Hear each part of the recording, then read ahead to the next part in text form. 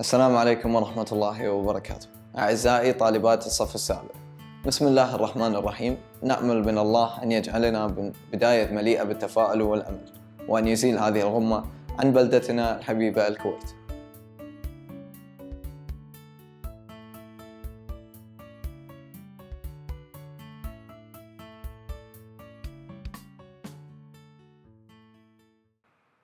لنكمل معكم تسلسل الدروس لأن وصلنا درسنا لليوم الإخراج النهائي.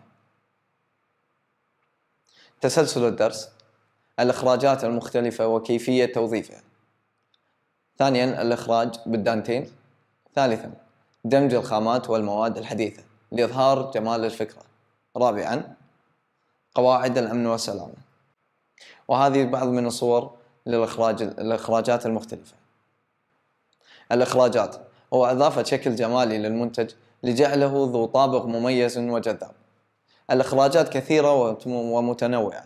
سنتعرف على بعضها التي من الممكن تنفيذها بسهولة. أولا الإخراج بالستانسل. يتم تنفيذ بعد يتم تنفيذها بعدة طرق ومنها الدهان بالرول أو الفرشاة. المعجون البارز والدهانات الرش. الإخراج بال stencil استخدام ال stencil في أماكن المطلوبة وتثبيتها بواسطة ورق لاصق. استخدام الاسفنج أو ال roll أو roll الدهان أو الفرشاة لتوزيع الدهان على ال stencil ونقوم برفع ال stencil لإظهار الشكل الجمالي. أما الإخراج بال stencil بالمعجون البارز ويمكن تنفيذها بفرد طبقة من المعجون وتوزيعها على ال stencil بواسطة سكين المعجون. ومن ثم رفع ال stencil لإظهار الشكل لإظهار شكل الزخرفة الجميلة المختارة مسبقا. وهنا بدهانات الرش. وهو عبارة عن استخدام دهان الرش لإضافة الدهان على ال stencil المثبت في الأماكن المحددة.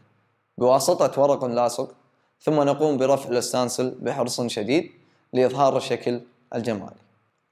أما الإخراج بورق الذهب يتم وضع الغراء في الأماكن المحددة المطلوب إخراجها بورق الذهب بواسطة فرشاة ناشفة. يتم وضع ورق الذهب على مكان الغراء والمسح عليه بسلاسة بواسطة فرشاة ناعمة وناشفة أو إسفنجة. الإخراج بالدانتيل. والأدوات المستخدمة للإخراج بالدانتيل هو الدانتيل الفرشاة الغراء ودهان الرش. الخطوات. استخدام الدانتيل في الأماكن المطلوبة وتثبيته بالغراء بواسطة الفرشة يتم الدهان بالألوان المطلوبة لإظهار التصميم. نقوم برفع الدانتيل بحرص لإظهار شكل التصميم. يتم وضع الدانتيل في وعاء الغراء والتأكد من وصول الغراء لكل الجوانب ثم يوضع في غالب وتركه حتى يجف ليأخذ شكل على حسب الغالب. الدانتيل والاسمنت. يتم وضع الدانتيل في سائل الاسمنت داخل الوعاء وغمرها للداخل حتى يتمكن الاسمنت من الوصول إلى كل الجوانب.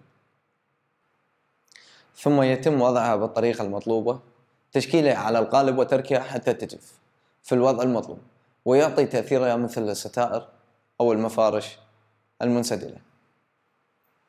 الدانتيل مع عجينة السيراميك يستخدم الدانتيل بطريقة أخرى. جذابة ومبتكرة وهي عبارة عن طباعتها داخل عجينة الأسمنت حتى يقوم الشكل المفرش بحفر زخرفته الجميلة عليه ومن ثم تشكيل العجينة بشكل المناسب الذي يتناسب مع التصميم.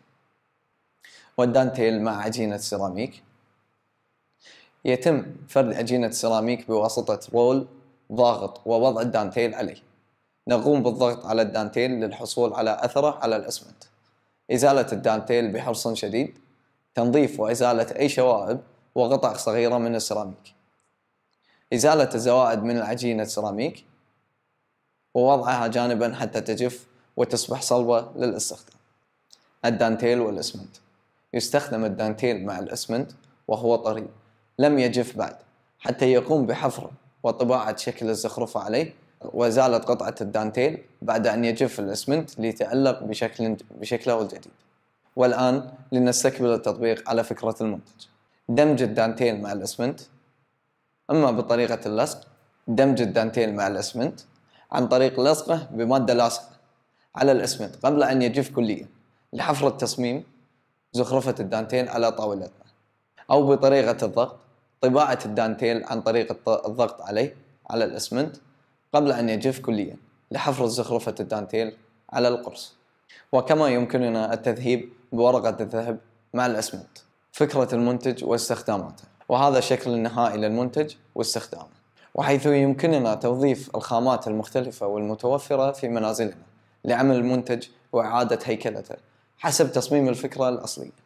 القواعد الأمن والسلامة. أولا التأكد من نظافة موقع العمل لبدء عملية الإخراج. ارتداء البالطو في جميع أوقات العمل لإخراجات المختلفة. حماية مكابس الكهرباء حتى لا تتسخ بالدهانات. التأكد من توافر كل الخامات المطلوبة أثناء العمل وارتداء القفازات والكمام لحماية من الدهانات. شكرا لحسن استماعكم. نراكم على خير إن شاء الله في السنة القادمة.